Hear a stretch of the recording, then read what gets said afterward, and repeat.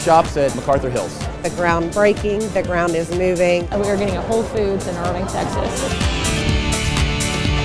Obviously, we've started a little bit of work. Uh, we've got our, our anchor announced this Whole Foods market. But we have gotten phone calls and phone calls from, uh, you know, from business owners as well as from citizens saying, when are we going to get a Whole Foods in Irving? We really offer the largest selection of natural and organic products as well as really great food options that people enjoy to just come for a meal. So we look forward to really developing a special store for this community that is unique to this area. These stores amazingly are destination retail.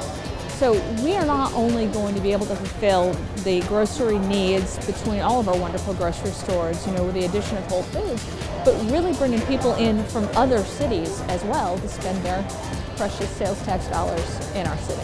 It's really a great evolving community and there's just so much going on here with major corporations, the medical center. For the physicians and the employees of Las Colinas, I see a lot of calls. Honey, can you stop and get this on the way home? So I think it's just going to be wonderful.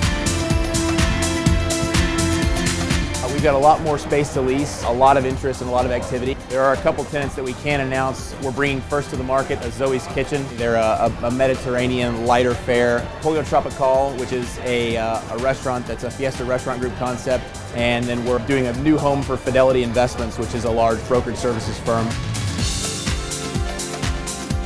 And I think this is good news for everybody in the city. You've got really, really strong demographics here in Las Colinas in this portion of Irving.